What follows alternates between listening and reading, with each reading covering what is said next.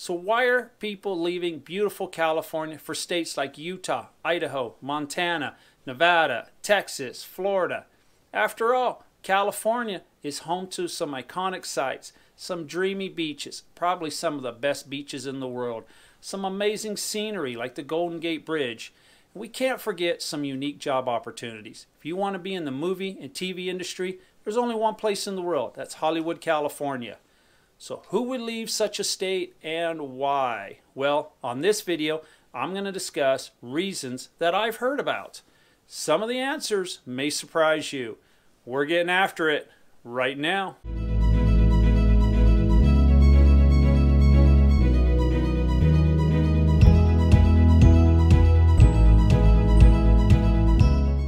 And I'm Mike Gallagher. Welcome to the Living in Utah channel. On this channel, I produce a weekly video about the state of Utah. I also hold a live question and answer session right here on YouTube. If you are making that move from California to Utah, I am a licensed agent if you need any assistance with buying a home. Give me a call, shoot me a text, send me an email. My contact information will be on the screen and in the show notes. So you might be shocked to find out that roughly 700,000 people have left the state of California in the last year alone. It's a shocking number. And it's not just people who have lived there for a couple years, didn't like it, and decided to move back home. There are people who were born and raised in California their whole life that are deciding to make the move out of California. Now, there are many reasons why people leave a particular area. In the case of California, I've come up with the following list in no particular order. Coming at number one on the list political problems. Now, I'm not a person that'll sit here and say red versus blue, what is great, what is not. But the residents of California, mostly, they support their state policies. But there is a growing amount of conservatives and moderate voters that feel like the state is moving too far to the left. On top of that, there are some growing union influence, some restrictions on law enforcement, the end of standardized testing in state universities. This has led a lot of people to feel like their vote doesn't count anymore and that the politicians are catering to the large cities like LA, San Diego, San Francisco without considering the rural residents of California. Top of that, the pandemic lockdowns have been a issue. California closed while states like Utah, Texas, Florida, we were wide open for business. I watched it here in Utah. Disneyland closed. Disney World open. What a contrast. There are other businesses that are affected too, like if you owned a restaurant, a bar, a gym, personal care services, tourism, they all suffered during the pandemic. Most were closed. And I would guess that quite a few went out of business. The ones that were left, they considered moving to other states where they might have a higher chance of surviving. So before we get to number two on the list, if you'd like to find out more information about living in Utah, you may consider tapping that subscribe button down below and hitting that bell notification. You'll receive an alert every time I release a new video. So coming in at number two on the list, rising taxes. Californians are used to paying a high tax rate. After all, the top income tax rate in California is about 13.3%. But if the lawmakers get their way, they would like to raise that to 17%. 17%, which it would affect the rich. Yes, it would. But it would also affect the small business owners who have been struggling over the last year just to stay in business due to the pandemic. It might be the final straw that puts them out of business. We can't forget in California they have a sales tax rate of 7% and that 50 cent gas tax. Plus, California is known for having one of the highest property tax rates on homes in the nation. And under the last president, President Trump, he introduced a tax cut plan, but some residents of California cannot deduct some of the costs that they used to be able to deduct on their taxes. So they've been hurt in that manner also. I read somewhere that if the new tax bills pass, the federal tax bills that they're talking about, and the California state tax bills, if you are making $500,000, and I know $500,000 is a lot of money, they may have to pay $210,000 in combined taxes. That's almost half of what you would make. Now, we can't forget about the one proposal that California is talking about the exit tax. Every time I hear the name exit tax, I almost break out laughing. I can't believe that the state of California would like to pass a tax that if you leave the state, you may have to pay up to 10 years a so called exit tax. I'm going to take a saying from the current president. Come on, man. I mean, what are they thinking? Coming in at number three on the list, I'm going to call this one social problems. Right now in California, there's approximately 150,000 homeless people, more than any other state. Some of these individuals have some mental issues and also some serious drug issues. And the residents there just feel like the state of California is not doing enough to help these individuals out. As a matter of fact, residents are making a record number of police reports about the homeless. And it's not just one or two areas you can find homeless camps in wealthy residential areas. Seems to be an issue throughout the whole state. Since the state is not doing a whole lot to get things sorted out, some residents are fed up, which is also causing them to leave the state of California.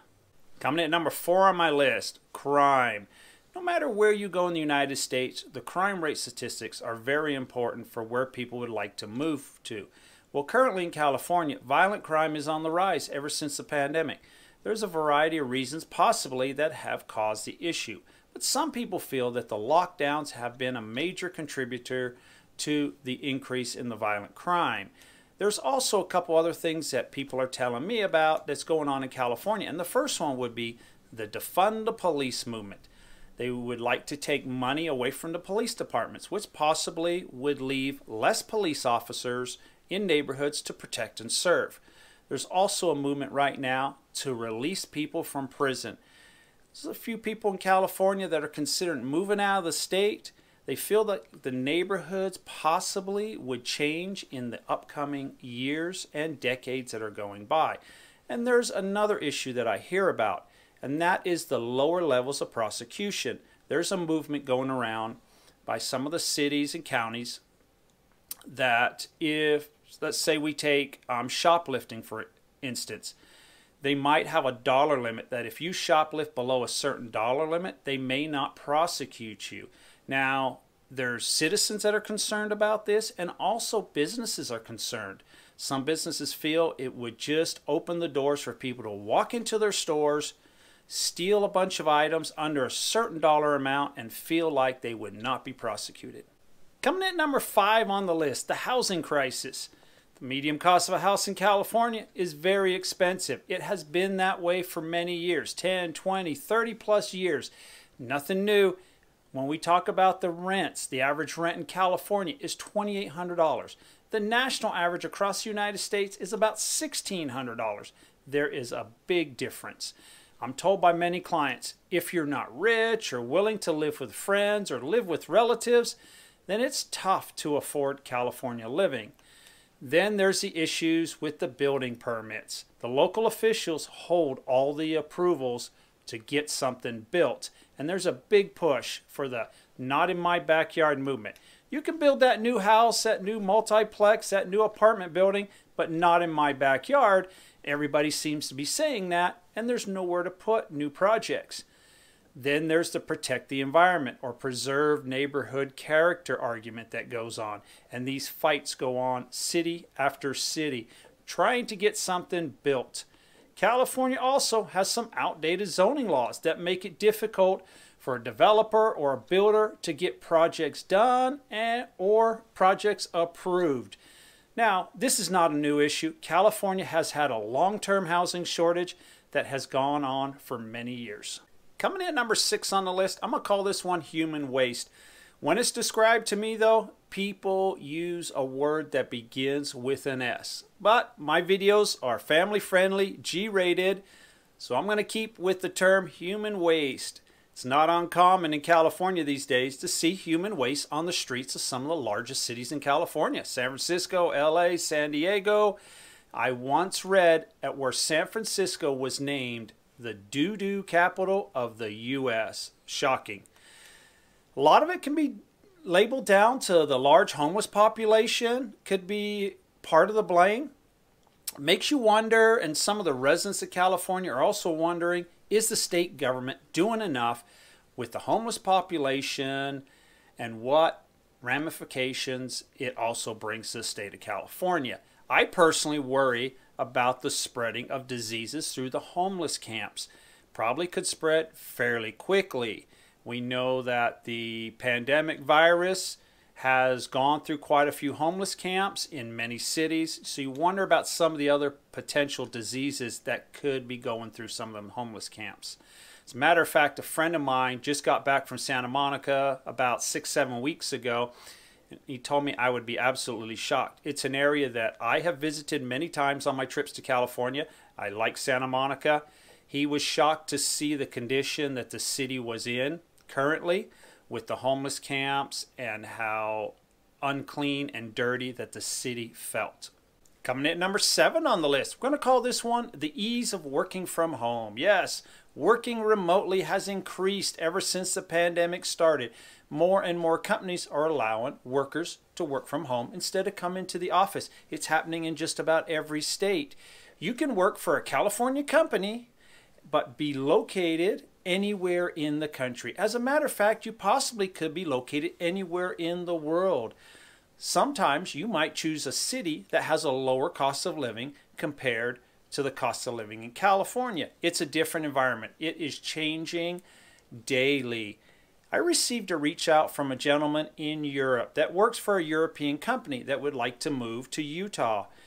His company will allow him to work anywhere in the world, provided that he does it during their business hours, which would be approximately about 1 a.m. to about 9 a.m. in the evening, and he was totally okay with that. Coming in at number eight on my list will be the devastating wildfires. In 2020, there were over 8,500 fires that burned over 2 million acres of land in California.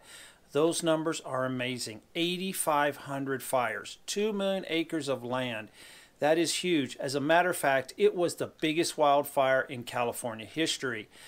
It has led to some people leaving the state of California. Some people feel that the situation will not get any better in the future, especially people who have been caught up in any of the wildfires now or in the past. They just feel that You'll have the destruction occur, and then you're rebuilding your home. Destruction, rebuild your home. They do not want to live a life of that continuous cycle. But it's not only the rural areas that were affected. The thick smoke forced residents all over the state to stay indoors, even in the largest cities of California San Francisco, LA, San Diego. The air quality was not very good. As a matter of fact, we noticed it here in the state of Utah as the winds blew this direction, it blew the wildfire smoke right into our state. Our air quality dropped to a low standard. We could see it on a daily basis, and it would be cloudy outside, and we could smell the um, burning smell from them California wildfires. So that's some of the reasons that people are leaving the state of California.